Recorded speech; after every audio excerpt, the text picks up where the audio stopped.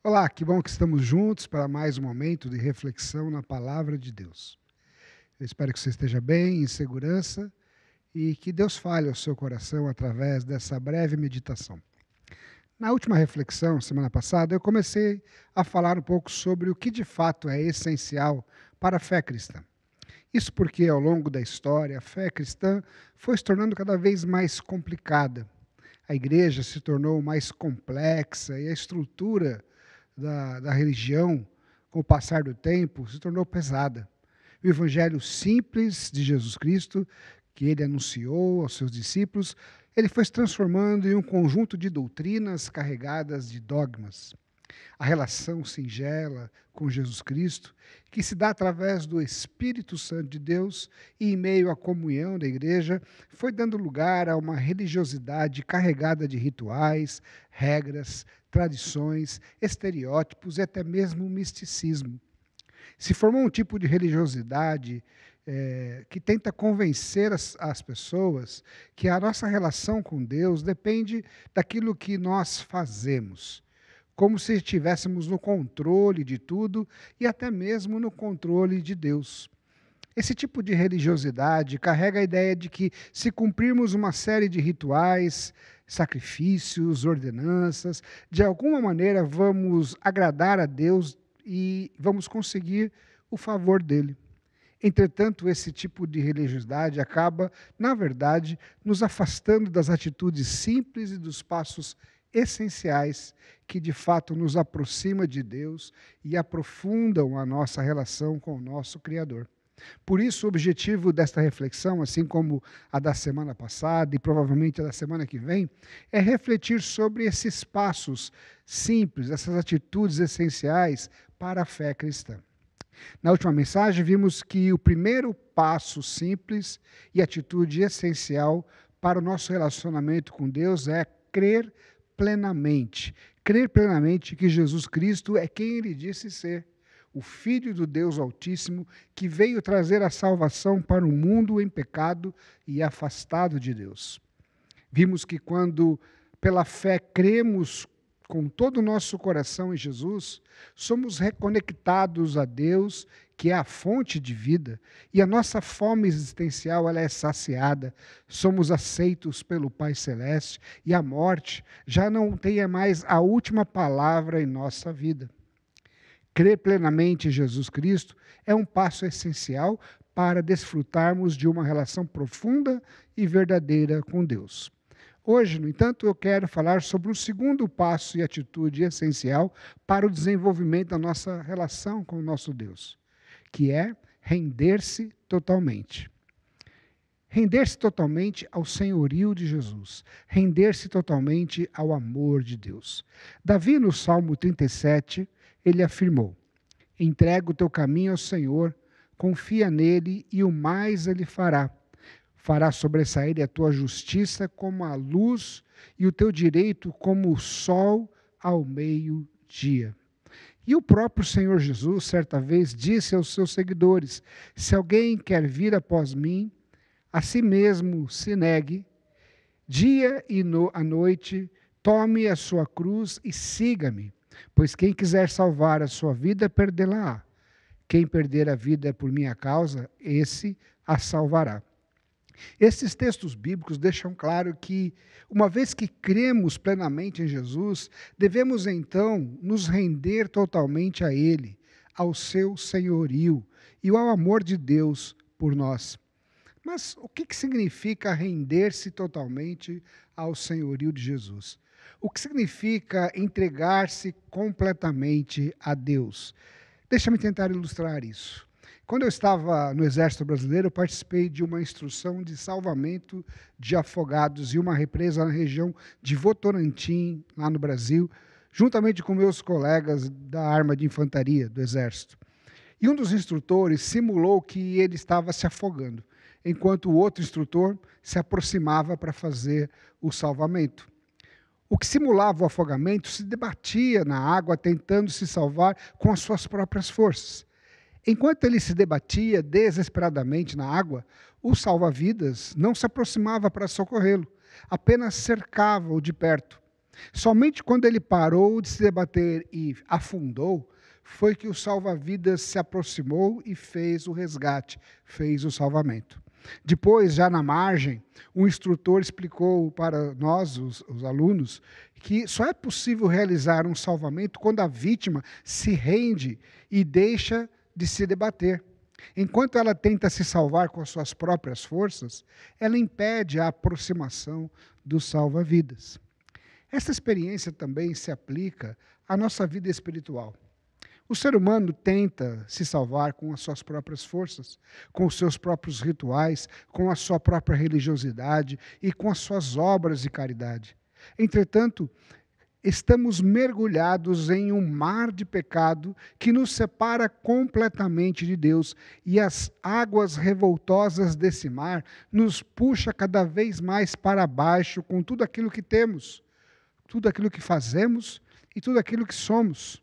Quanto mais nos debatemos, quanto mais tentamos por conta própria tocar a vida, levar a nossa vida, mais nos cansamos e, nos, e afundamos. Mas Deus enviou o salva-vidas para nos resgatar da morte.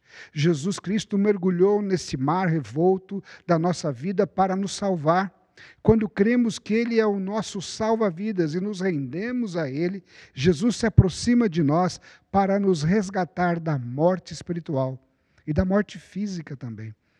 O problema é que o ser humano tem uma tendência para a autonomia, uma inclinação para tentar assumir o controle de sua própria vida, ignorando que as nossas vidas dependem completamente do Deus Criador. Mas a verdade é que, se nós não nos rendermos a Jesus, seremos como aquele sujeito se afogando e se debatendo contra as ondas, até que as nossas forças acabem e afundemos. Portanto, renda-se totalmente a Jesus. Renda-se totalmente a Jesus agora, nesse momento, mas isso não significa a sua passividade ou anulação da sua vontade. Render-se totalmente a Jesus significa parar de dar murro em ponta de faca, parar de ficar se debatendo na água, deixar de confiar em si mesmo e submeter-se ao senhorio de Jesus. Deus sabe o que é melhor para você. E Ele já expressou a vontade dele para a sua vida nas palavras das Escrituras. Submeter ao senhorio de Jesus é submeter a sua palavra. Como Davi coloca no Salmo, significa render-se totalmente a Deus. Render-se totalmente significa entregar o seu caminho ao Senhor e confiar nele. Entregar-se por completo nas mãos daquele que é o único que pode te salvar render-se totalmente ao senhorio de Jesus também significa negar-se a si mesmo, tomar a sua cruz e segui-lo. Significa seguir o exemplo de Jesus, seus passos, as suas direções. Significa mergulhar e se submeter à palavra, mergulhar numa relação com Jesus e se submeter à palavra do Senhor para a sua vida. Como Pedro fez ao ouvir Jesus dizer-lhe para lançar as redes do outro lado do barco. Após uma noite frustrada de pescaria, cansado, Pedro diz: Sob as tuas palavras eu lançarei as redes. Pedro se submeteu às palavras de Jesus e as suas redes foram cheias. Logo em seguida, Pedro se lança aos pés de Jesus e se rende completamente a Jesus. Pedro reconhece a sua limitação, Pedro reconhece que é um pecador, ele diz: Afasta-se de mim, Senhor. Mas ao render-se a Jesus, ele ouve a voz de Jesus dizendo: Levanta-se, eu farei de você, a partir de agora, um pescador de homens. Crer plenamente e render-se totalmente são os dois primeiros passos e atitudes essenciais para um relacionamento verdadeiro com Deus. E Jesus Cristo é o nosso grande exemplo de rendição. Jesus se rendeu totalmente à missão de nos salvar. Mesmo sendo Deus, ele se esvaziou completamente de sua glória e mergulhou neste mar de lama no qual vivemos para cumprir a sua missão de salvar a humanidade. Ele entregou a sua própria vida em favor de todos nós, para que através do seu sacrifício nós não precisássemos mais ser sacrificados por causa dos nossos pecados. Ao render-se à missão de salvar o ser humano, Jesus foi entregue nas mãos de malfeitores. Ele foi julgado injustamente, condenado e executado pelos nossos pecados, experimentando a morte e morte de cruz. Quando Cristo rendeu sua vida por nós na cruz, ele disse: Pai, perdoa-os, pois eles não sabem o que estão fazendo. E antes do último suspiro, ele afirmou: está consumado, ou seja, está pago, está pago o salário do pecado, que é a morte. Mas Deus não o deixou na morte. Deus o ressuscitou no terceiro dia. Ele venceu a morte para que nós possamos agora ter esperança de que a morte não tem mais a última palavra na nossa vida.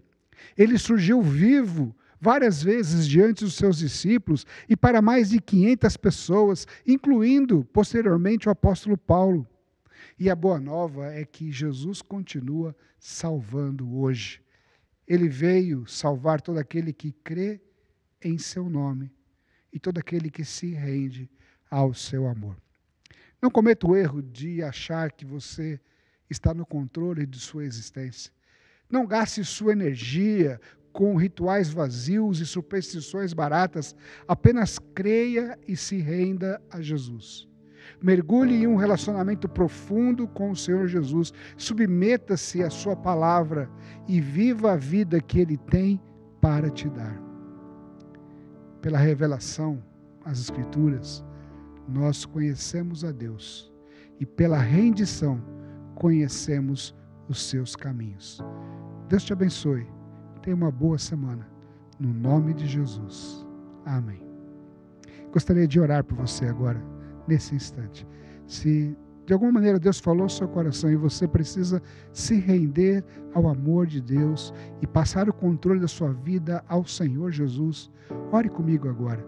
Senhor Jesus, nós colocamos as nossas vidas nas tuas mãos nós nos rendemos, nós reconhecemos que por conta própria, pelos nossos esforços, não podemos alcançar nada.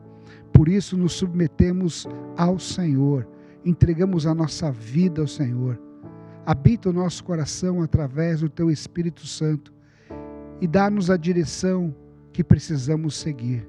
Esteja presente nas nossas vidas e abençoa-nos. Nós oramos, Deus, Oramos nesse momento no teu nome, Jesus. Amém. Que Deus te abençoe. Se você precisar tirar alguma dúvida, se você quiser conversar com alguém, procure um pastor, procure uma igreja, ou se você é daqui da nossa igreja, me procure. Gostaria muito de orar por você e te ajudar a entender melhor o que significa render-se a Jesus. Uma boa semana e Deus abençoe.